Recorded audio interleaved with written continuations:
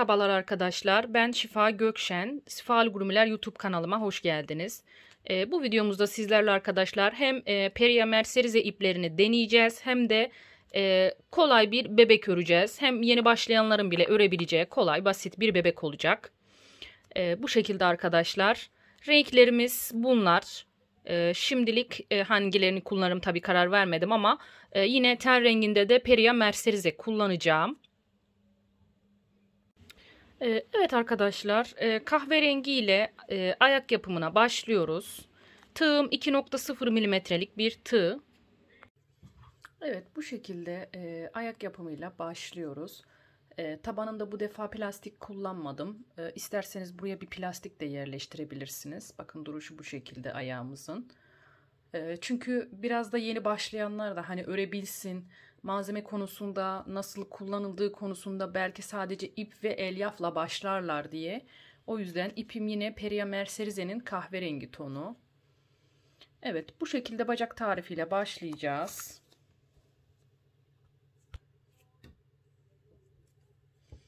Evet zincir çekerek başlıyorum. 1 2 3 4 5 6, 7. 7 adet zincirimi çektikten sonra hemen şöyle geriye dönüp ikinci zincirime batıyorum. Bu ikinci zincirimin içerisine aynı yere batarak iki tane sık iğne yaptım. Diğerlerine tek tek batarak devam ediyorum. 1 2 3 zincirimin diğer bir tarafını tek tek her bir zincir halkasına birer tane batarak 1 2 3 4 4 tane ördükten sonra zincirimin son halkasının içerisine bakın bu en sonuncu aynı yere 1 2 3 4 5 tane sık iğne yaptım. En sondaki ilmeğimin içerisine zincirimin diğer tarafını örerek tek tek batıyorum her bir zincir halkasına. 1 2 1 2 3 4 ve 5 Evet 5 tane ördüm. 5 tane ördükten sonra buraya işaretleyicimi takıyorum ve ilk birinci sıramızı bu şekilde bitirmiş oluyoruz. İlk sıramızın sonunda 16 adet sık iğnemiz olmuş oldu ilk sıramızın sonunda. İkinci sıramıza geçiyoruz. İkinci sıramızda hemen ilk baştaki ilmeğimin içerisine bir tane arttırma yani 2 adet sık iğne yapıyorum. Diğer ilmeğimin içerisine de 2 adet sık iğne yaptım. Yani burada iki defa arttırma yaptım. Tek tek örüyorum. 1 2 3 4 5 5 tane tek tek ördükten sonra bir arttırma daha yaptım. Bir tane tek ördüm. Bir diğer ilmeğimin içerisine bir arttırma daha yapıyorum. Bir diğer ilmeğimin içerisine tek örüyorum. 1 2 yani burada arkadaşlar bir arttırma, bir tek, bir arttırma yaptım. Daha sonra tek tek batarak 1 2 3 4 5 6 tane ilmeğimi de sıra sonuna kadar tek tek örüp ikinci sıramı da bu şekilde tamamladım. İkinci sıramızın sonunda 20 adet sık iğnemiz olmuş oldu. Üçüncü sıramıza geçiyoruz. Üçüncü sıramızda yine en başa bir tane arttırma yaptım bir adet ilmeğimi tek olarak ördüm. Bir diğer ilmeğimin içerisine bir arttırma, bir tek, bir arttırma ve bir arttırma daha yapıyorum. Yani burada arkadaşlar bir arttırma, bir tek, iki tane daha arttırma yaptım.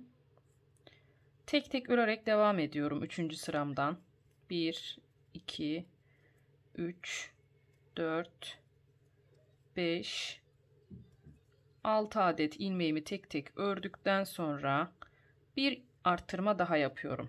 6 adet tek tek ördüm. Bir diğer ilmeğimin içerisine bir tane arttırma yaptım. Bir tek örüyorum. Bir arttırma daha yapıyorum. Ve bir arttırma daha yapıyorum.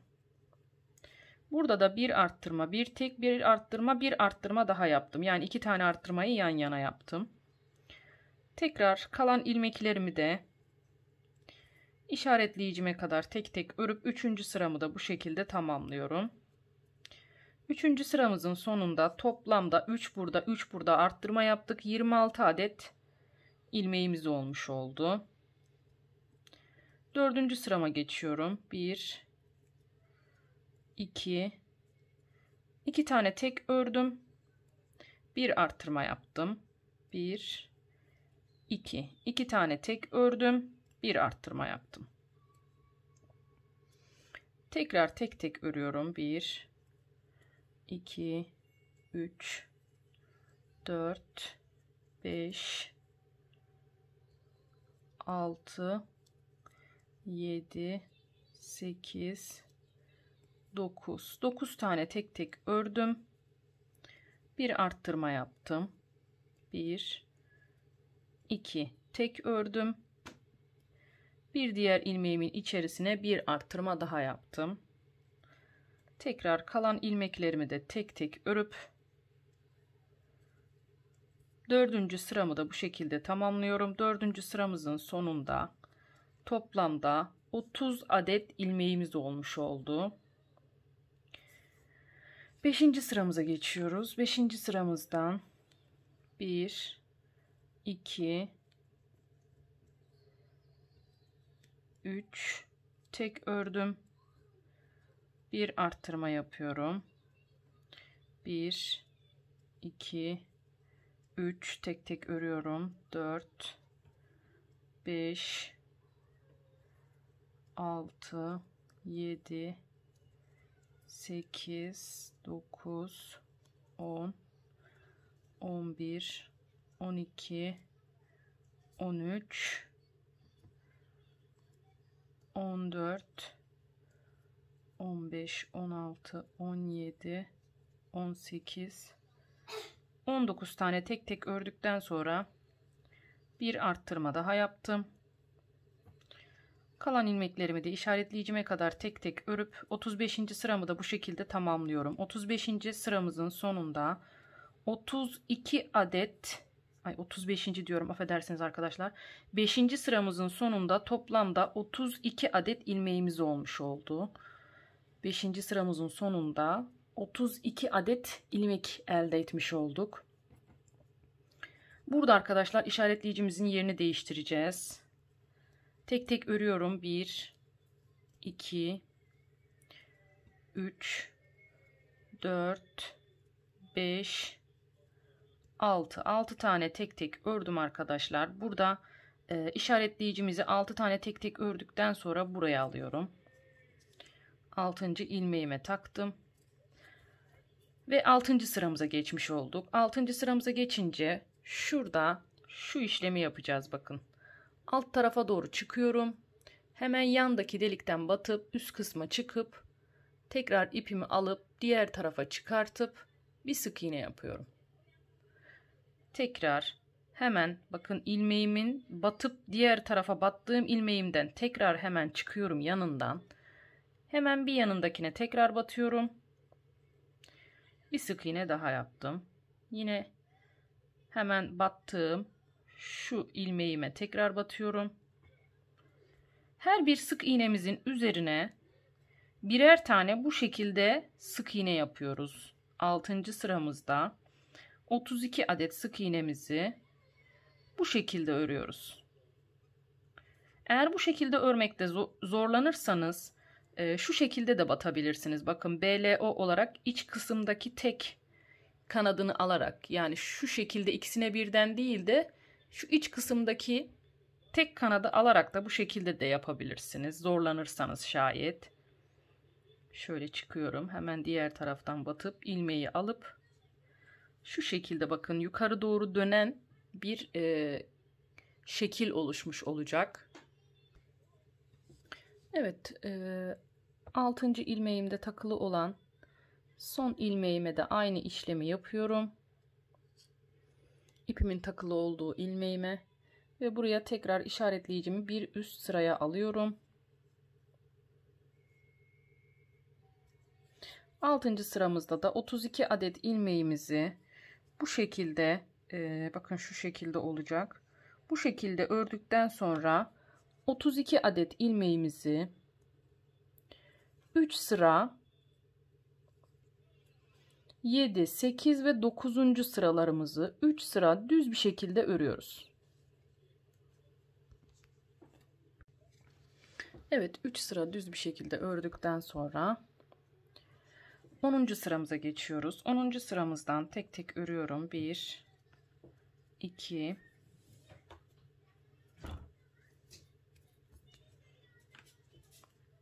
3 4 5 6 7 8 9 10 Evet 10 adet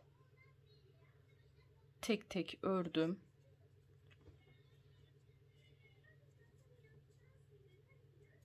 On, on bir ve on iki. On iki adet ilmeğimi tek tek ördükten sonra azaltma yapıyorum. Bir, iki, üçüncü azaltmam, üç, dördüncü azaltmam, 4 5 5. azaltmam ve 6. azaltmam. Evet 6. azaltmayı da yaptım. Kalan ilmeklerimi tek tek örüp 10. sıramı da bu şekilde tamamlıyorum.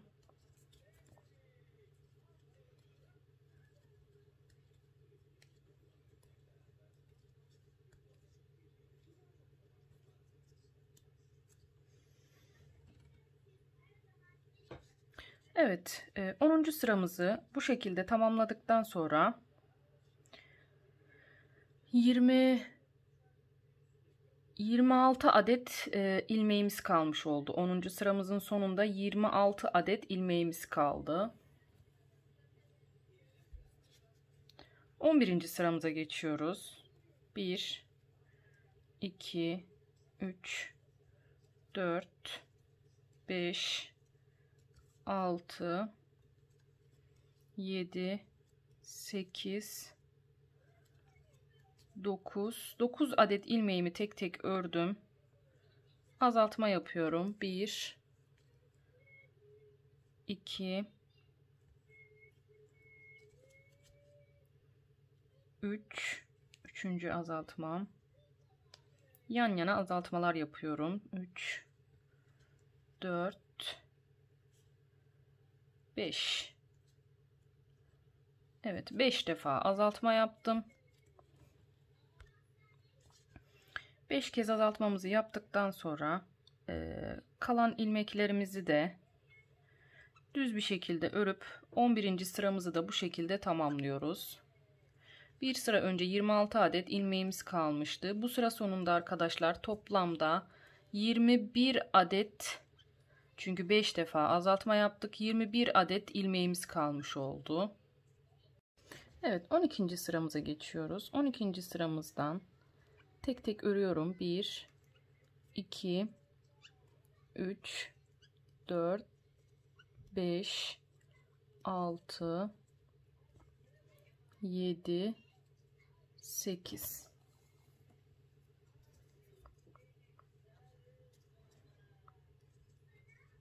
9. 9 adet ilmeğimi tek tek ördükten sonra azaltma yapıyorum. 1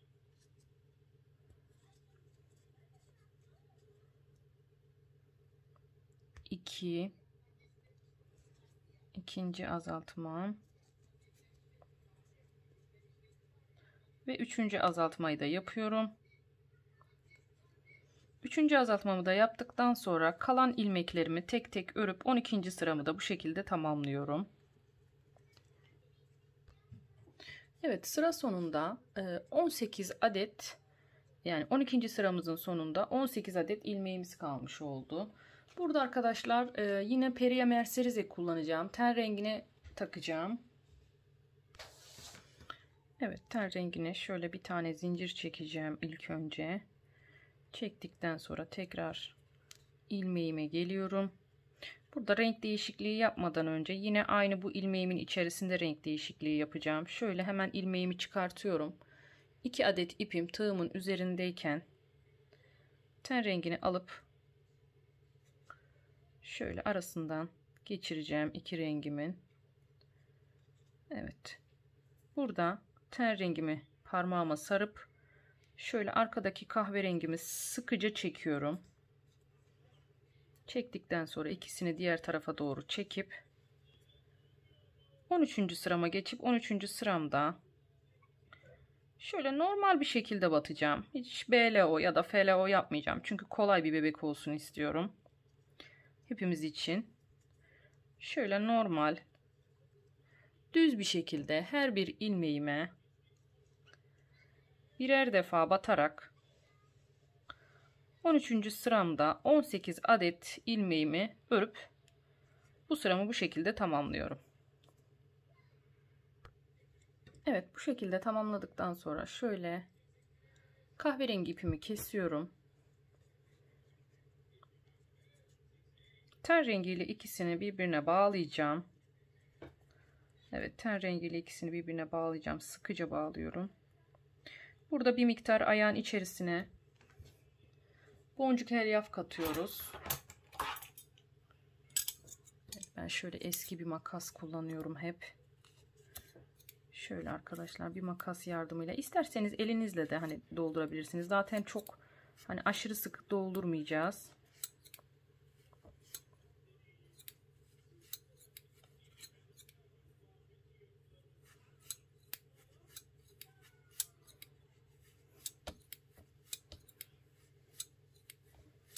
Çok değil bir miktar dolduracağım.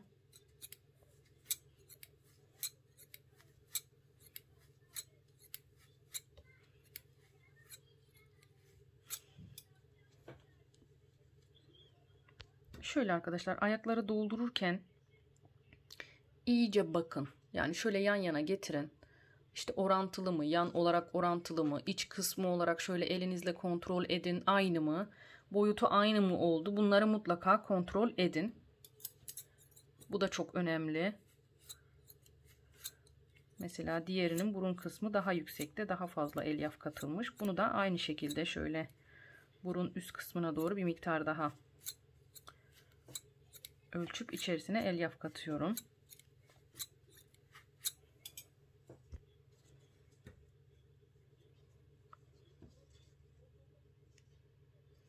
Hemen hemen aynı oldu. Evet 18 adet ilmeğimiz arkadaşlar.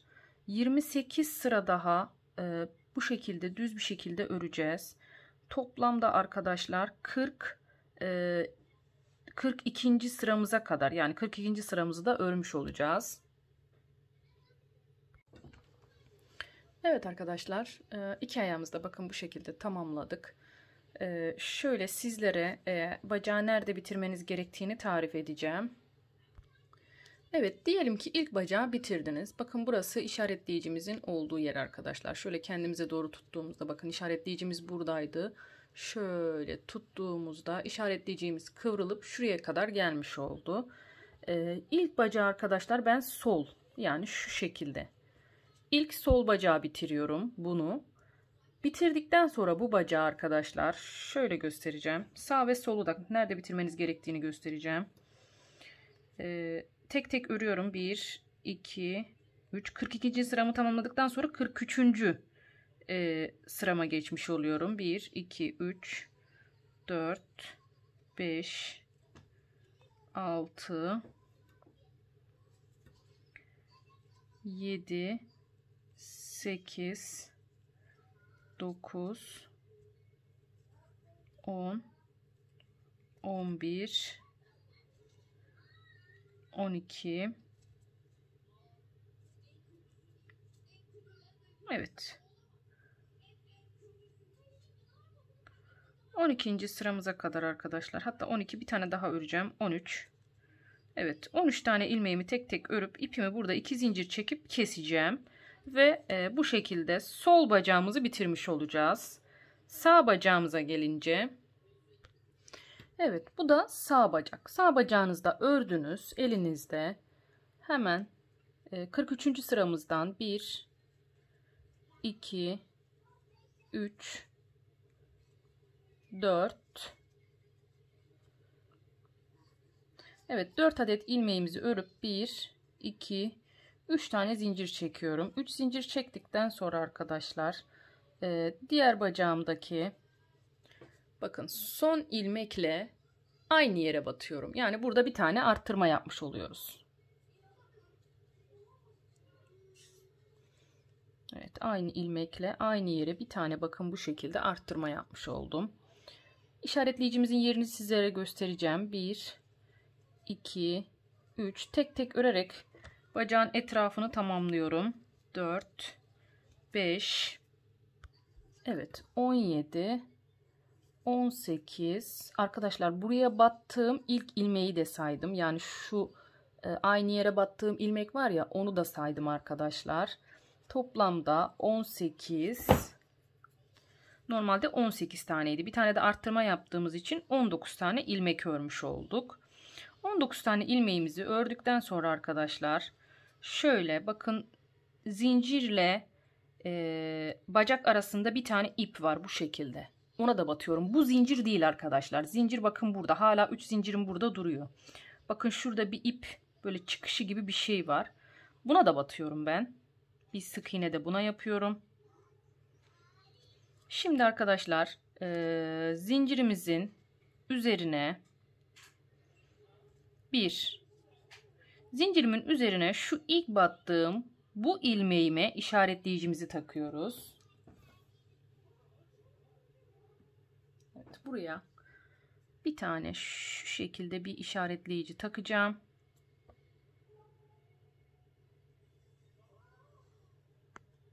Evet taktıktan sonra bir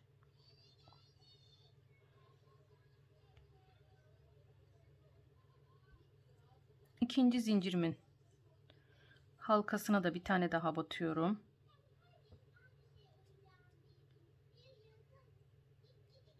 Evet biraz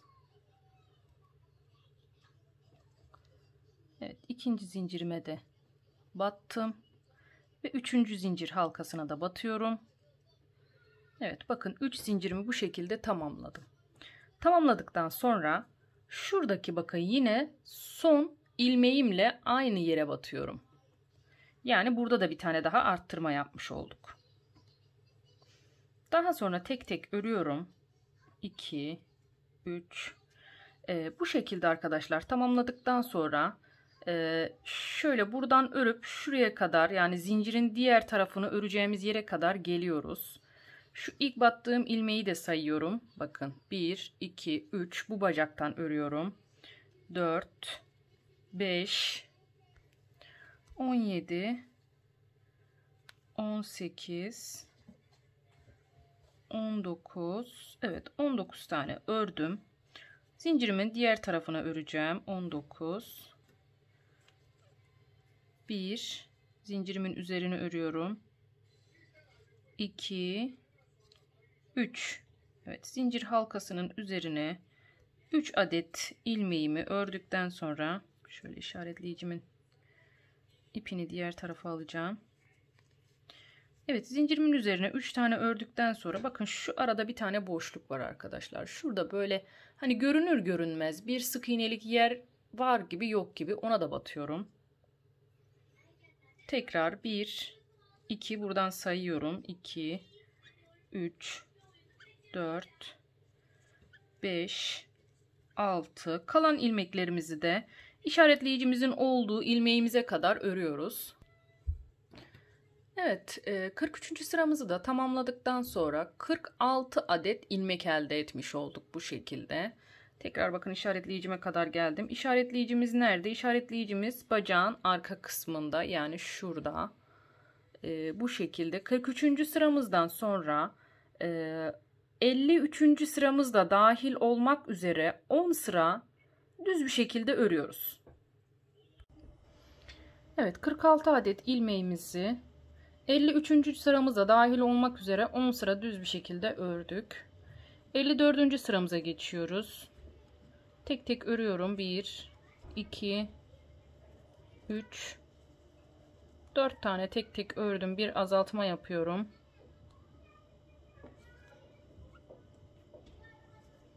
Tekrar tek tek örüyorum. 1 2 3 4 5 6 7 8 9 10 11 12 13 tane tek tek ördüm. Bir azaltma daha yapıyorum tekrar tek tek örüyorum. 1 2 3 4 5 6 7 8 9 10 tek tek ördüm 10 taneyi. Tekrar bir azaltma daha yapıyorum. Tekrar tek tek örüyorum. 1 2 2 3 6 7 8 tane tek tek ördüm. Bir azaltma daha yapıyorum. Kalan 2 adet ilmeğimi de tek tek örüp bu sıramı da bu şekilde tamamladım. 54. sıramı. 54. sıramızda arkadaşlar 4 e, defa azaltma yaptık. 46 adet ilmeğimiz vardı 42 adet ilmeğimiz kaldı 42 adet ilmeğimizi 3 sıra düz bir şekilde örelim 57. sıramızı da tamamladık 42 adet ilmeğimiz var 58. sıramıza geçiyoruz 1 2 tek tek örüyorum 3 4 8 9 10 10 tane tek tek ördüm. Bir azaltma yapıyorum. Tekrar tek tek örüyorum. 1 2 7 8 9 10 10 tane yine tek tek ördüm. Bir azaltma daha yapıyorum. Bir kez daha 10 tek bir azaltma daha yapıyoruz. 1 2 Evet 10 tek bir azaltma daha yaptım. Bu üçüncü azaltmamış, azaltmamız olmuştu bu sıramızdaki. Tek tek örüyorum. 1 2 3 3 tane daha tek tek ördüm. Son kalan 2 ilmeğimi de azaltma yapıyorum. İşaretleyicimizi de arkadaşlar bu azaltma yaptığımız son azaltmamızı çünkü zaten son iki tane ilmek kalmıştı onlara azaltma yaptık. İşaretleyicimizi bu azaltma yaptığımız ilmeğimize takıyoruz.